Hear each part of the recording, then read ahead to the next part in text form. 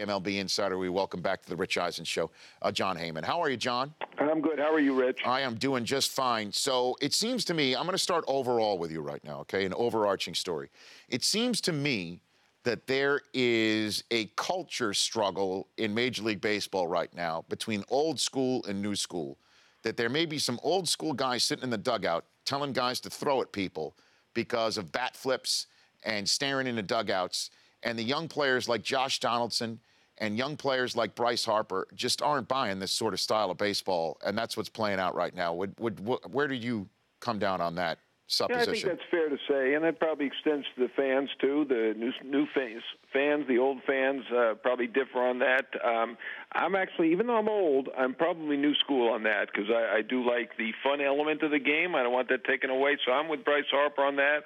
I'm with uh, Bautista bat flip. Uh, I enjoy the emotion out in the field, and I uh, think everybody else should too. But I guess if you're caught in the middle of the action, you've been playing for 20 years, uh, you may not be as excited as I am, or uh, Bryce Harper, or some of the uh, younger guys, or the new school guys. So, how does this all wind up? Because it seems to me that the unwritten rules are are are taking precedence almost every day, and the players are having an awful difficult time trying to police themselves.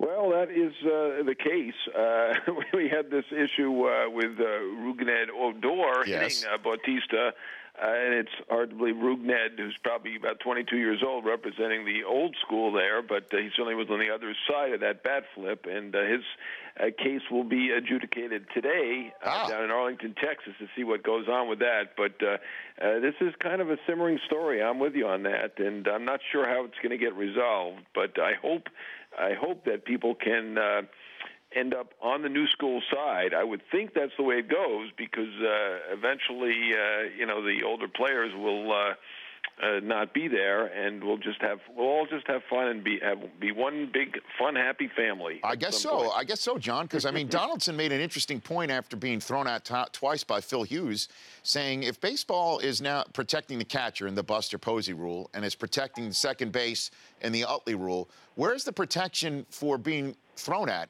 Uh, and and I know that opens the Pandora's box, similar to what the NBA just went through with intent with Draymond Green.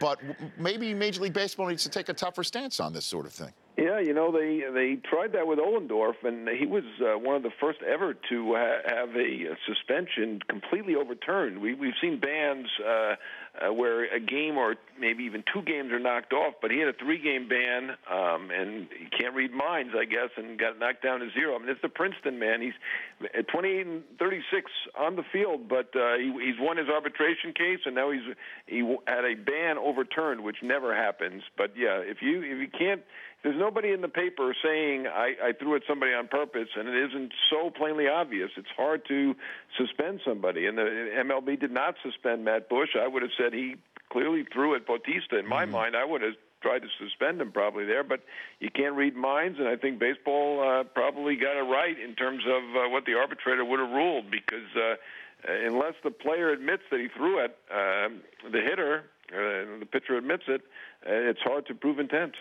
Jon Heyman, MLB Network insider from MLB Tonight, and, and a host of shows uh, joining me here uh, on the Rich Eisen Show. So now that we are reaching the Memorial Day quarter uh, post, and you've got Matt Harvey in his 5.7 ERA tonight, you've got David Price, Dallas Keuchel, Chris Archer with their bloated ERAs. Which one of those pitchers do you think uh, ha- has had the most troubling start in terms of being able to turn it around over the rest of the season? Yeah, I, would probably say Harvey. Um, I, I, think there's prob- probably some concern coming in. We we knew about the innings uh, debate last year and how uh, originally uh, it was supposed to be, at least in the agent Scott Boras's mind, 180 innings.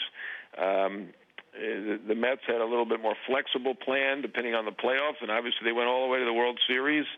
And uh, Harvey eventually said, "I want to pitch," and went well over 200 innings. And I think there was concern coming in whether, uh, you know, that was too much. We don't know. There really isn't a precedent, as Mets and other people pointed out. We don't know whether that really is a factor, but.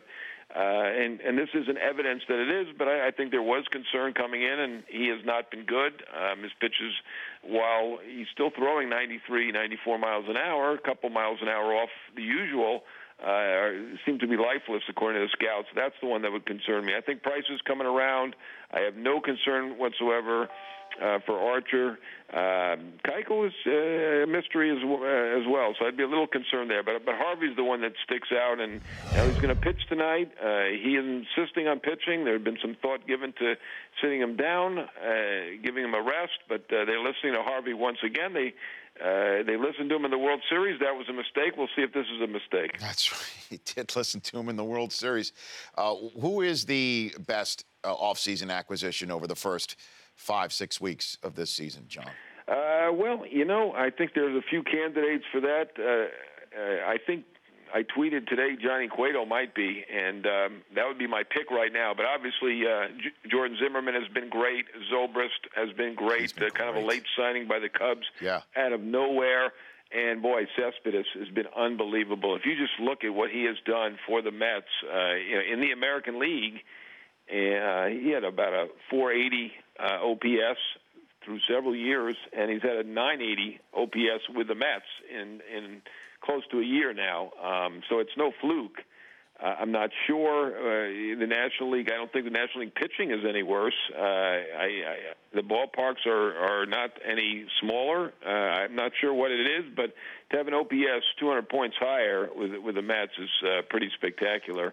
So I, I mean, it seems like I'm talking Cespedes up. I had Cueto as my pick earlier, but there are a handful of really, really good uh, acquisitions to this point. MLB Network's Jon Heyman joining me here. Uh, is Kershaw the best you've ever seen? And and I know that what that says. Uh, I know how Yeah. long you've been covering it, but he now has 95 strikeouts and five walks so far.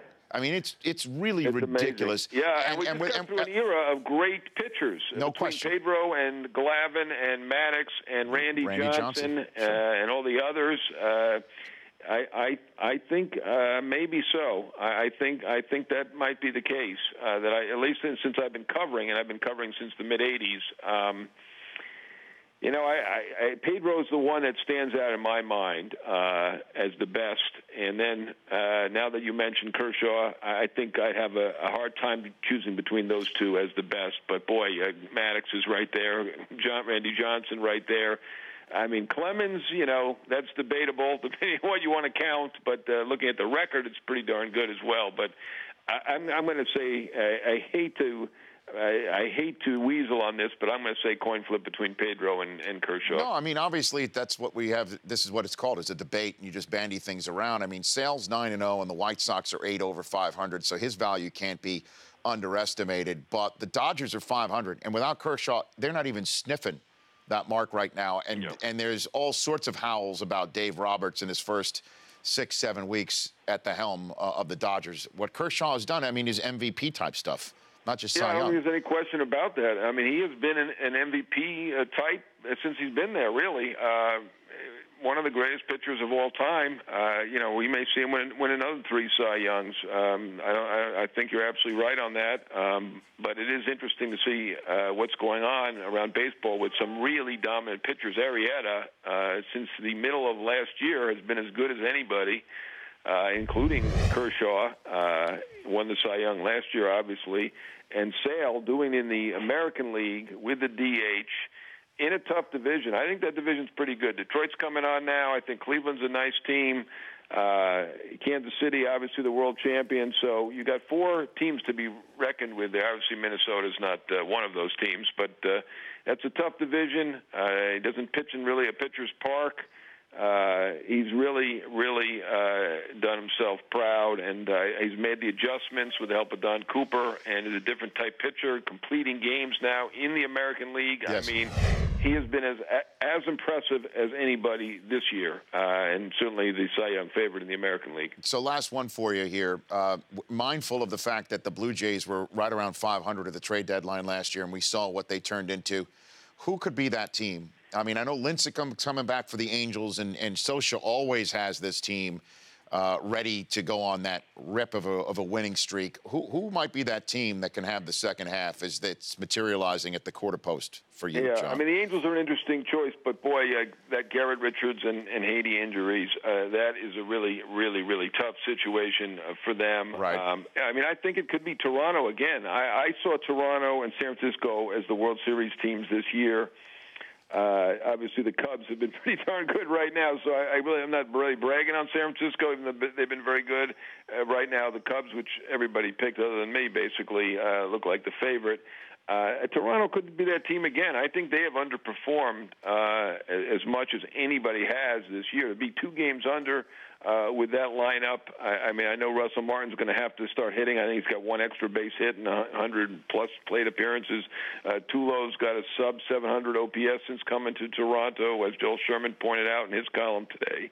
Um, I mean, they're really underperforming offensively. Uh, I think their pitching is pretty solid. They got to shore up the bullpen a little bit, but I think Detroit could come on, and uh, of course Kansas City and, and uh, Detroit from the uh, AL Central. I think Detroit uh, was underperforming. It's funny how things turned around. I think Brad Ausmus, if he hadn't won that game in Baltimore, they had that contested check swing call on J.D. Martinez. Yep. Buck Showalter up in arms. Clearly looked like he swung. It was called a no swing. J.D. Martinez homers. Detroit goes on to win that game. I think Ausmus was on the cusp of being fired. They win that game. They get to play Minnesota next. They sweep there. I think they're on a roll now. So uh, I'm looking at Detroit, and, and of course, Kansas City being only two over. When we know how, what a good team they are, I'd look at them as well. So at least three teams in the American League, I would say, candidates to be the Toronto of last year. Jon, thanks for the time. Uh, we'll have you down uh, down the line if you're All so right, willing. Great talking to you. Bet. Same here. That's Jon Heyman of, uh, of MLB Network. The Rich Eisen Show, weekdays at noon Eastern on Audience.